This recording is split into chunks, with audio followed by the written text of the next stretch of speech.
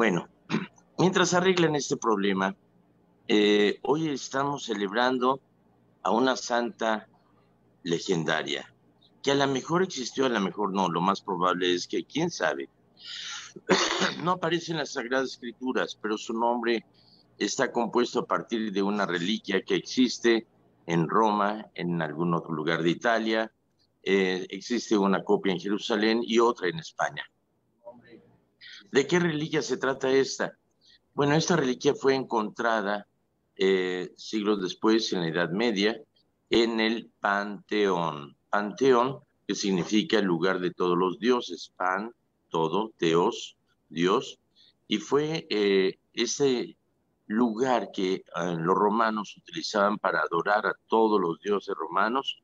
Posteriormente, con Constantino se regaló esa edificación hermosísima en Roma, se regaló a la iglesia. La estructura de este panteón es muy peculiar porque tiene una cúpula redonda que no tiene vidrio ni tiene techo en el centro y está hecha de tal manera que aunque llueva, la lluvia no cae en el interior y a mí me ha tocado eh, visitarla en plena lluvia y efectivamente por la forma como está estructurada rechaza la lluvia y no cae en su interior. Bueno, ah, si ustedes ven la película Ángeles y Demonios, eh, que es una ficción, trata precisamente ahí de que está ah, eh, un subterráneo donde estaban torturando a un cardenal. Bueno, parte de esa película se supone que se desarrolla ahí en el Panteón. Actualmente es una iglesia católica.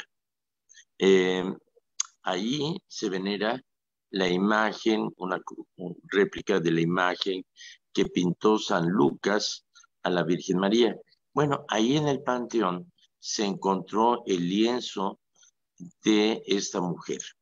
Esta mujer no se sabe su nombre, se piensa que era aquella mujer que tenía un sangrado durante 12 años y que bastó con que tocara el manto de Cristo para ser curada, probablemente sea ella, eh, que en el momento en que llevaban a Jesús a crucificar su rostro, eh, todo sangrado y con sudor, eh, realmente era lamentable la forma como vio el rostro de Cristo, que ella se quitó el velo, lo dobló en cuatro partes y eh, burló a la vigilancia de los soldados y se acercó a Jesús a limpiarle su rostro sangrante y cosa milagrosa, cuenta la leyenda, que su rostro quedó impregnado en el manto de esta mujer, que no se sabe su nombre, pero se pone su nombre a partir de esta reliquia, que es en Berenice en griego o Verónica en latín,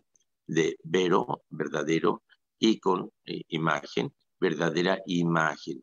Entonces esa eh, imagen verdadera se conserva hay una réplica en el Vaticano, incluso en uno de los pilares del Vaticano está dedicado a Santa Verónica.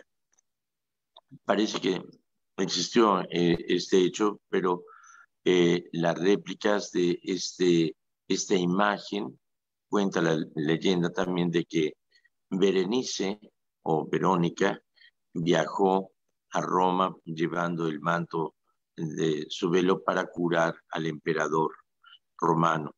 Posteriormente ella se la entregó al Papa y el Papa eh, se encargó de conservarla. Entonces hay una réplica ahí en el Vaticano, otra réplica en otra iglesia en, Italia y finalmente eh, en España hay una réplica y otra en Jerusalén. Esto es eh, cuatro porque al doblar el manto en cuatro partes quedó impregnado. Ahora, lo importante de esto es eh, el valor de esta mujer que se compadece de Jesús y busca limpiar su rostro. Si quedó la imagen impregnada en el manto es lo de menos, pero ciertamente en su corazón sí. Pero ser verdadera imagen del rostro de Cristo es algo muy importante. Y veamos qué imagen de Cristo le presentamos al mundo. Muchas veces le presentamos una imagen muy lamentable. Algún padre que nos dio un retiro dice que el peor insulto que ha recibido es cuando eh, maltrató a una persona este, muy enojado y le dijo, qué poquito se parece a Cristo. realmente eso es un insulto muy grande. Nosotros, sacerdotes, debemos de parecernos a Cristo, no porque traigamos barba y bigote, porque eh, eso es lo de menos, sino más bien que sepamos transmitir ese, esa imagen de Cristo, un Cristo de amor, un Cristo bondadoso, un Cristo de justicia, un Cristo de perdón, un Cristo que habla con la verdad, y eso es lo importante, eh, transmitir ese, ese rostro de Cristo, aunque seamos muy feos, pero que el rostro que se manifieste sea un rostro de bondad, de misericordia, de amor, de dulzura, de justicia, de verdad, de firmeza.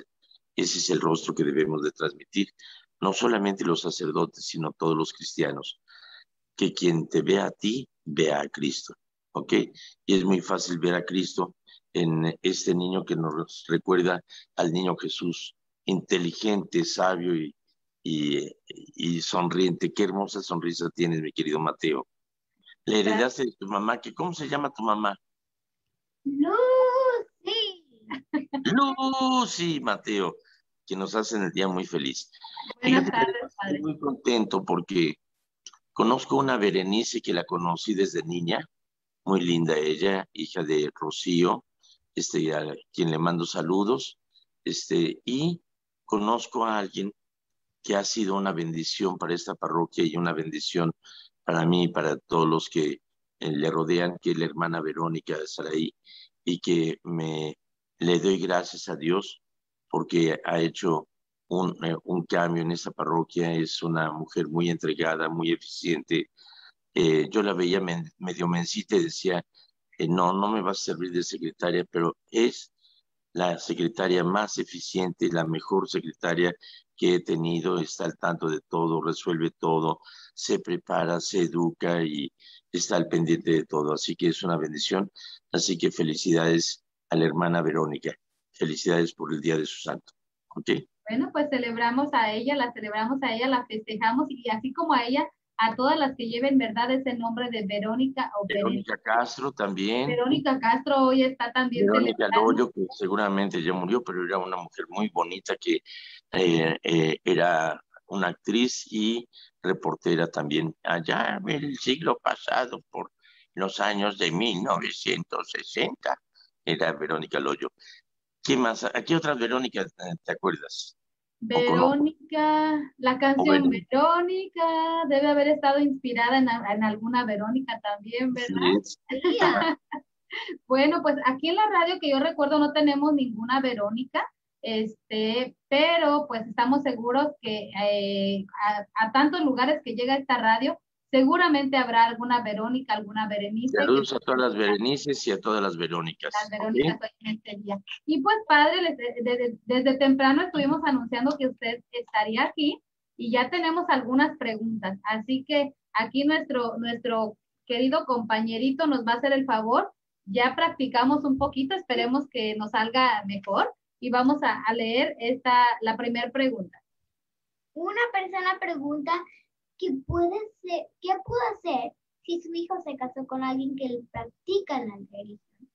A ver, Mateo, lo único que te escuché, una persona pregunta, lo hiciste muy bien, con muy buena voz y muy bien proyectado, pero después empezaste a, hablar a papachadito y ya no sé qué oyó nada.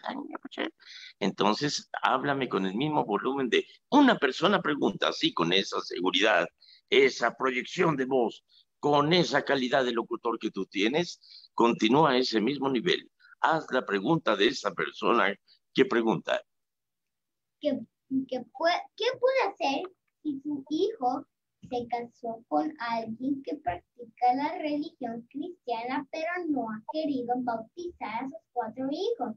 Ella se siente mal porque sus nietos que no han recibido el sacramento del bautismo. ¿Qué, qué recomendación le da? Déjele resumo un poquito esta pregunta porque es un poquito larga, padre. Es, una persona nos llamó, es la abuelita, ella, y dice, ¿qué puedo hacer si mi hijo se casó con una persona que no practica eh, la religión católica? Entonces tiene cuatro hijos y no están bautizados. Entonces, ella quiere que si, saber si usted le puede dar alguna recomendación porque no han bautizado a sus nietos ni han hecho la primera comunión. Dice, ¿yo qué hago? ¿Le estalo las, las orejas a mi hijo? Yo quiero que el padre me dé una recomendación. Así que, padre, ella lo está escuchando ahorita y está esperando. Yo tengo la seguridad de que, Lucy, tú no vas a pasar por ese problema con Mateo, porque Mateo es un niño de Dios, porque tú lo estás educando muy bien, porque le estás inculcando la fe y no solamente que lo bautizaste ya, sino que creo que Mateo es el resultado de una buena educación y de ese amor a Dios que ustedes viven en casa. Entonces yo creo que Mateo no va a tener ese problema, ¿verdad? Este, y ojalá que llegues a ser el padre Mateo. Pero a lo mejor si pasa una chamaca bien chula, bien bonita, que te ama y que te quiere mucho, seguro que van a ser, vas a ser un excelente papá y vas a saber elegir a la que ha de ser tu esposa para toda la vida. Bueno, ¿y qué sucede cuando te enamoras de alguien que no es católico o que no es católica?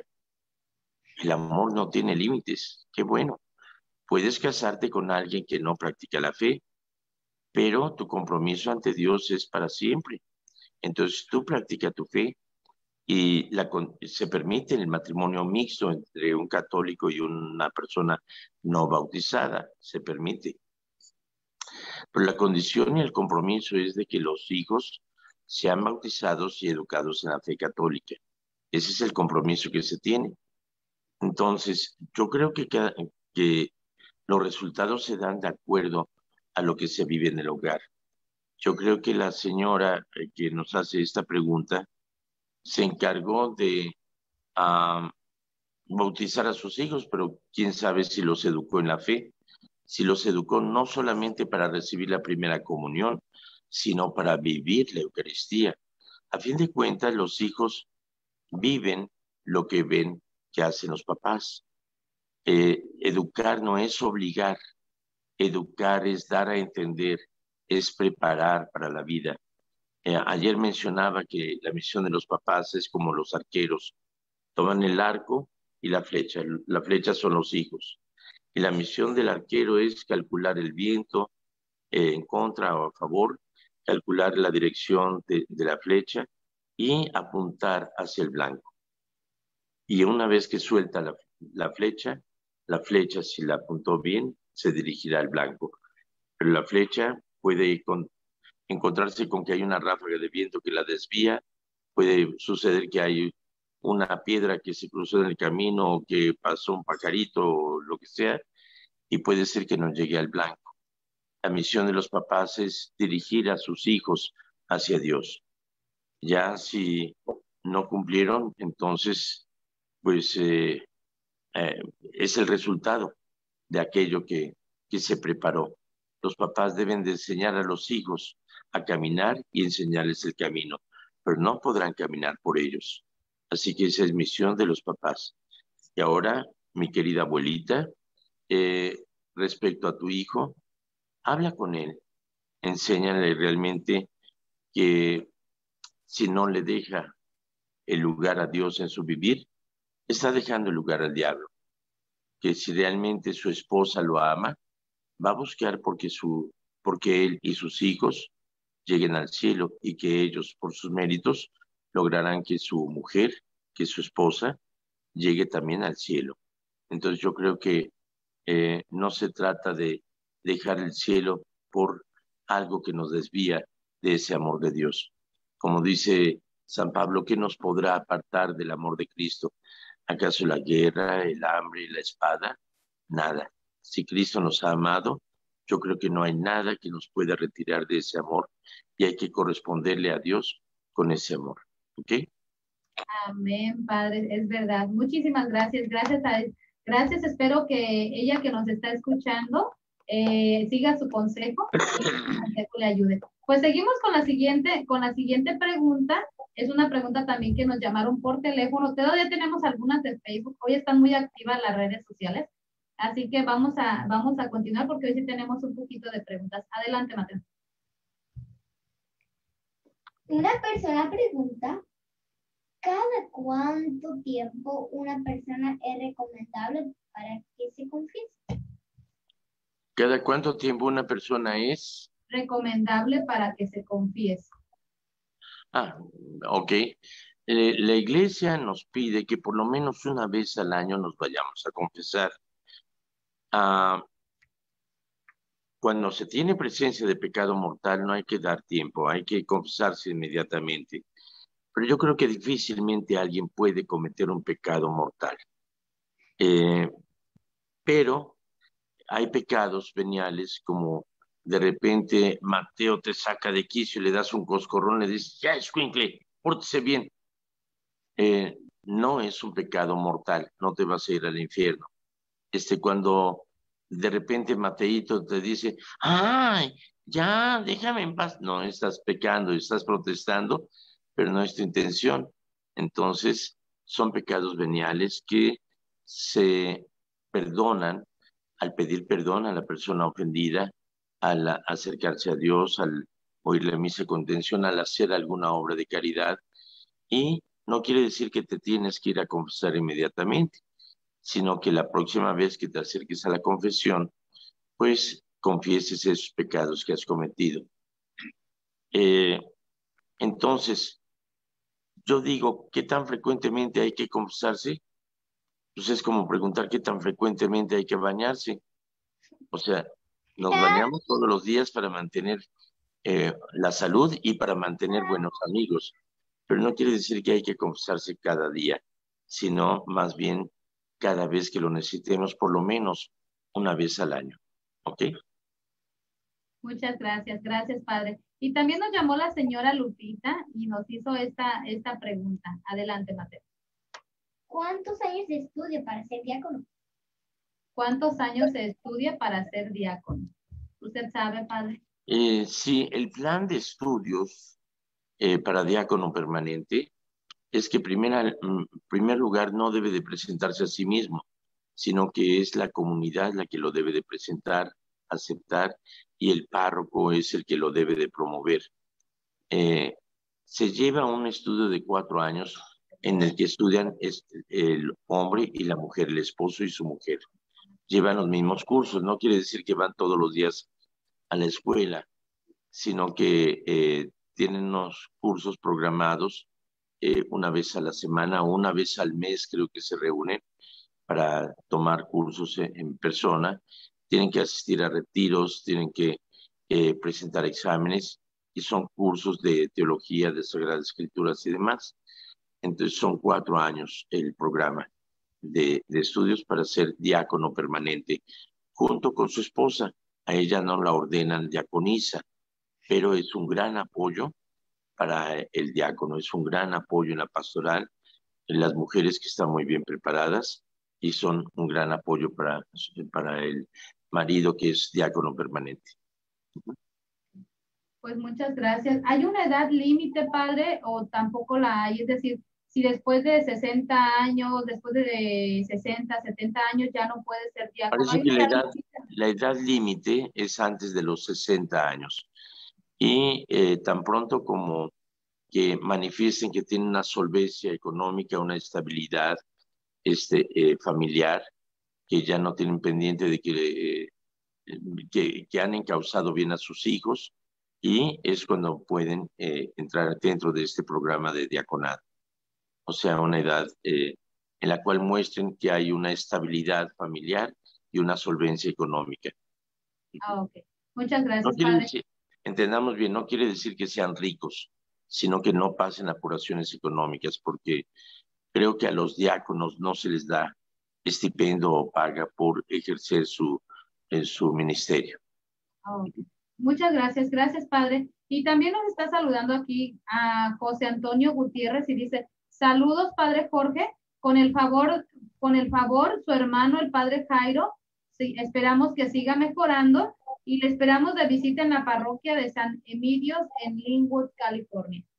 Gracias, mi querido Toño, te recuerdo con mucho cariño y muchas gracias por tus buenos deseos. Mi hermano Jairo eh, se siente mejor, pero está convaleciente todavía, o sea, ya camina, entra a la iglesia, hace oración, este, pero no puede eh, mantenerse de pie mucho tiempo porque todavía se marea, está recuperándose, pero ya eh, está más lúcido, más consciente y todo, pero todavía sigue en unas dos o tres semanas de recuperación. Gracias por preguntar. Gracias. También Elena Araujo le dice, hola padre Jorge, aquí nuevamente pues, empezamos una semana más. Gracias por sus enseñanzas y su tiempo. Dios lo bendiga siempre. Muchísimas gracias, Elena. Pedro y Toña Estrada le dicen saludos, padre. Pregunta, al momento de levantar el cuerpo y la sangre de Cristo en misa, ¿por qué suenan las campanas y por qué en algunas ocasiones no lo hacen? Muy buena pregunta. Mira, eh, las primeras celebraciones eran en contexto de una, un convivio, una comida en la cual duraba horas en la cual se platicaba, se, eh, estaban todavía los apóstoles, sí que platicaban sus eh, anécdotas con Jesucristo, les platicaban de lo que habían hecho juntos, o sea, era un ámbito de, de fiesta. Eh, la gente llevaba y compartía su comida, incluso llega un momento en que dice, aquí no se trata de venir a presumir comida, si quieren hacer comelitonas, háganlas en su casa, pero aquí no cuenten el dinero delante de los pobres, sino que pongan todo en común. Eh, era el tiempo en el cual se leían las cartas de los apóstoles que acaban de llegar a la comunidad, decían, oye, pues déjame copiarlo, y se hacían copias y demás. Ah, era, eh, eh, era el compartirlo todo, la gente llevaba lo que había eh, dado de eh, lo que había cosechado, lo, que había producido, lo ponían a, los pies de los apóstoles y ellos lo ponían en común para quien más lo necesitara y de tal manera que todo lo tenían en común y nadie carecía de lo esencial. Dentro de todo este contexto de fiesta era la celebración de la Santa Misa, era el partir el pan, el, era el agape, que era el compartirlo todo. ¿Cuándo se empezó a organizar la celebración de la Santa Misa como la conocemos hoy en día? Bueno, se empezó a poner en común todo con un documento que se llamó Didaje, que es la que empieza a narrar, a, determinar cómo es la liturgia de la celebración para ponerlo todo en común. Recordemos que las primeras celebraciones, incluso en Roma, se hicieron en las catacumbas, donde enterraban a los mártires y se hacía sobre la tumba de los mártires. Ah, posteriormente, ya cuando se empezó a extender eh, el cristianismo por el mundo, el idioma que se puso en común era el idioma que se hablaba comúnmente por el imperio romano, que era el latín. Entonces, por eso se puso la celebración en latín. Sin embargo, con la caída del imperio romano, empezó la era del obscurantismo y de la depresión. ¿Por qué? Porque después de haber tenido unas una civilización tan moderna que tenían drenaje, tenían acueductos, tenían eh, eh, ciudades bien trazadas y todo, llegó esa etapa de barbarie y de oscurantismo en el cual se perdió la cultura a nivel mundial. Entonces, eh, durante ese tiempo de oscurantismo, ya la gente no habla el latín, se empieza a destrozar el latín y a derivar en muchas formas. Por ejemplo, es muy como eh, se derivó en idioma romances, es decir, las que surgen de Roma o de, eh, del latín, como sería el español, el portugués, el italiano, eh, el francés un poco, el rumano y muchos otros idiomas que tienen su base en el latín, pero se fue deformando y en cada lugar se va deformando. Es como el español que hablamos, lo que para nosotros es una leche malteada, en España es un batido. lo que para nosotros es suéter, en Perú es una chompa. Es lo que para nosotros es el chile, allá en Perú es el ají. Entonces, eh, eh, lo que para nosotros son majaderías, en Perú son lisuras. Entonces, es el mismo idioma y, por ejemplo, en la Ciudad de México, le puedo preguntar a, Mateo, ¿qué milaneses que te dejas visteces? Me pregunté por tripas, me dijeron que ya te habías morongas, pero todavía víboras. Y si ya sábanas, pues ¿para qué te dilo? ¿Eh? Entonces, ¿qué pasión es? Entonces, eso es lo que se llama el caliche. Eh, en alguna ocasión que fui a Canadá con unos amigos judíos, íbamos en el metro y empezamos a hablar así en caliche. Pues qué purro, no hay fijón, llégale, no hay, eh, no te azotes, que chayotes, etcétera. Y una chica eh, que iba en el metro dice, ¿qué idioma están hablando? ¿Español? Es que yo estudié español y no les entiendo. Ah, no, es que estamos hablando en caliche, es decir, eh, de formar las palabras. De esa manera, en la Edad Media ya nadie hablaba el latín, solamente los nobles. Y entonces eh, creían fervientemente en la presencia de Cristo, pero hubo un tiempo que solamente una vez en la vida podías confesarte. Entonces la gente no quería morir en pecado. ¿Qué tal si me confieso ahorita y muero en pecado mortal? Así que mejor me voy a aguantar hasta el final de mis días para confesarme. Entonces ya nadie comulgaba, pero creían en la presencia de Cristo. Y eran tan bárbaros que eh, se acercaban al altar y llegaban a tirarlo. Entonces el sacerdote, para proteger el cuerpo de Cristo, se pegó el altar a la pared. Y eso duró durante muchos siglos, hasta 1963. Entonces el sacerdote con su cuerpo protegía el, cuerpo y la sangre de Cristo, porque la gente se rodeaba. Entonces se llegó hasta poner barrotes para separar el altar del resto de la gente. Pero la gente ya no entendía y el sacerdote estaba espalda al pueblo. Entonces pedían al, al acólito que tocara las campanas para ver el momento de la elevación del cuerpo de Cristo y de la sangre de Cristo. Entonces era llamar la atención porque la gente ya no entendía, cada quien estaba en sus propios rezos. Yo me acuerdo cuando a mí me tocó ir a misas en latín todavía, yo no entendía nada. Entonces yo me ponía a rezar mi rosario mientras estaba la misa y no entendía nada porque todo era en latín. En nomine Patri, Filii, Spiritus Sancti, Dominus Vobiscum, con Spiritu tu, un will identificat en meam, etcétera, ¿no? Que por cierto, estaba una de las preguntas que se hizo entre los decanos eh, en la Junta de Decanato, era que había, eh, que si se podía celebrar las misas en latín, que qué opinábamos al respecto. Y había un padre que le estaba promoviendo que se hagan la misa en latín. Le digo, lo único que puedo decir es, Juan me Criste dole te cernere fixum corporitan fixum te volo Criste meo. Se quedan, ¿qué? ¿Me entendieron? No. Entonces, ¿para qué quieren celebrar la misa en un idioma que no entienden? Mensos.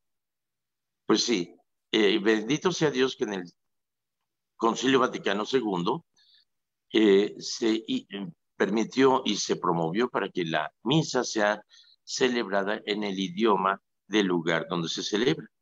Entonces, no tiene caso celebrar en un idioma que nadie entiende.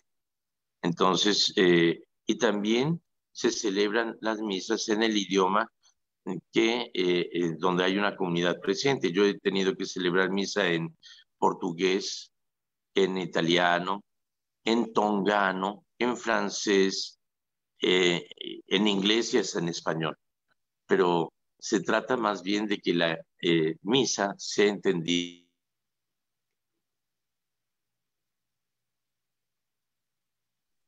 en esa época. ¿Me siguen oyendo? Es que me una llamada y se cortó. Sí, siguen oyendo. Ahora sí, padre. Ahora sí lo escuchamos. Entonces, el origen de las campanas era llamar la atención para eh, el momento de la consagración, de, de, la elevación.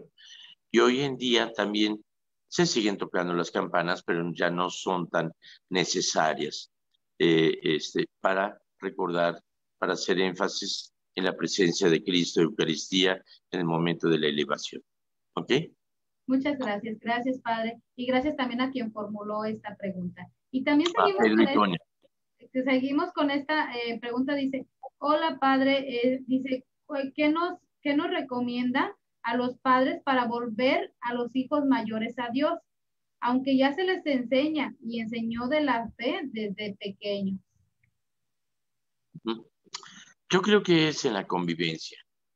Yo creo que es en la cercanía, es decir, no el regañarlos, no el insistirles, sino más bien el motivarlos a acompañarlos a, la iglesia. Hay mucha gente que pone como pretexto, es que no fui a misa porque me llegó visita digo, pues ese es el testimonio que puedes dar. Oye, me da mucho gusto que vengas a visitarme y sobre todo en este momento que vamos a ir a la celebración a alabar a Dios. Así que vente, te invitamos a que vengas a misa. Me viniste a visitar a mí, vienes a visitarme, no a cambiarme mi forma de vida. O sea, te invitamos a ser parte de nuestra forma de vivir y nuestra forma de vivir es alabar a Dios. Este, así que vamos a la iglesia. Entonces, yo creo que ah, algo que se puede hacer es precisamente el pasar a visitar a los hijos y decir, hijo, viene por ti, vámonos. Este, vamos a ir a comer, vamos a ir de picnic, pero antes vamos a visitar a Dios. Creo que puede ser una muy buena motivación. Este, o cuando van a visitarlos, decir, qué bueno que viniste, acompáñame, vamos a visitar a Dios. El ejemplo, ¿verdad, Padre? Volvemos otra vez con, con el ejemplo. Bueno, pues también nos dice Yolis Martínez, dice, mis hijas recibieron la confirmación de un obispo que venía de otra ciudad y me dicen que no es válido el sacramento. ¿Qué tan cierto es y por qué no es válido si él es un obispo? Bueno, eh, habría que ver primeramente. Me extraña que un obispo venga a bautizar o a confirmar en una diócesis que no es la suya cuando que le corresponde al obispo de la diócesis. Entonces, no creo que un obispo de otra diócesis venga a menos de que sea invitado por el propio obispo y que obviamente tiene cartas y, demás este, para manifestarse como permitido por el obispo, pero creo que sería muy extraño que se diera ese caso. Entonces, hay muchos obispos falsos eh, que engañan a la gente y además seguramente no fue en la Iglesia Católica, porque en la Iglesia Católica sabríamos reportar y decir, no, no es un obispo de adeveras. Entonces, seguramente que eso no fue en la Iglesia Católica, seguramente que fue en alguna casa, en algún estadio, en algún salón o en algún lugar eh, que rentaron para eso, porque en la Iglesia Católica no se permitiría eso. Así que si fue un obispo falso, chafa, pirata, no tiene validez el sacramento. ¿Ok? Entonces, por eso es la duda, ¿verdad? Porque a lo mejor puede estar. No, no cabe ni la menor duda. O sea, simplemente no puede venir un obispo de otra diosa a hacer lo que le corresponde al obispo del lugar. es como si, como, me acordé de ese chiste de Fox, lo voy a contar, total, ya pasó Fox. Estaba Fox dormido y de repente llaman por teléfono. Dice, ¿aló? Sí, George. Ajá. Ok. Ok. Very good. Goodbye. Sleep well. Bye. Le dice Marta. ¿Quién era Vicente? era George Bush. ¿y qué quería Vicente? Dice que me va a mandar de embajador a Medio Oriente. Ay, Vicente, yo creo que viste mal porque no puedes ir como embajador si eres el presidente de México. Tiene razón, Martita. Déjame llamarle. George, eh, a ver, creo que no te entendí. What did you say? Oh, I got it. Very good. Ok, thank you. Tenía razón Martita, no me va a mandar de embajador a Medio Oriente. Dice que me va a mandar un embajador para que me Medio Oriente. ¿Ok? Entonces, esta es una gran diferencia. Bueno, es como si el presidente de Estados Unidos fuera a México a gobernar o el presidente de, Cuba viniera a Estados Unidos a gobernar, no se puede. Entonces un obispo de otro lugar no puede venir a ocupar el lugar que le corresponde al obispo del lugar. ¿Ok? Entonces así que olvídense. Muchas gracias, padre. Gracias también. Y nos pregunta el señor Arnoldo, dice, siguiendo con lo que están hablando, ¿qué pasa cuando se bautizan las personas dos veces, como lo que hacen los protestantes? Bueno, de hecho en el credo decimos, creo en un solo bautismo para el perdón de los pecados. Espero la resurrección de los muertos y la vida del mundo futuro. Amén. también eh, decimos un solo Señor, una sola fe, un solo bautismo, un solo Dios y Padre. Entonces no hay un segundo bautismo.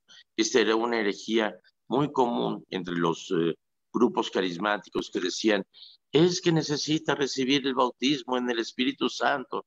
Blasfemos, herejes, es un solo bautismo en el nombre del Padre y del Hijo y del Espíritu Santo. Y en el día del bautismo recibes el Espíritu Santo y te conviertes en templo vivo donde habita el Espíritu Santo. Entonces esa era una herejía tremenda que había en los grupos carismáticos de renovación y demás. Entonces, no, es un solo bautismo. Y eh, hay algunos bautizos que no son válidos en la Iglesia Católica. Sin embargo, por ejemplo, si un luterano eh, que recibió el bautismo en la Iglesia Luterana o un anglicano que recibió el bautismo en la Iglesia Anglicana se convierte al catolicismo, no se le vuelve a bautizar, sino que hay un rito de recepción de una persona ya bautizada en la Iglesia Católica, pero se reconoce ese bautismo.